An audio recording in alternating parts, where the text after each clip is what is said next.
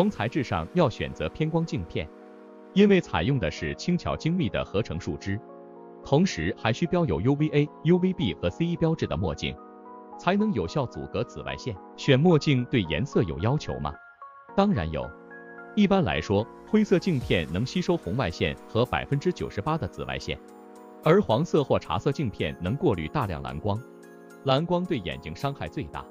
如果是黄斑病变患者，应该佩戴黄色镜片。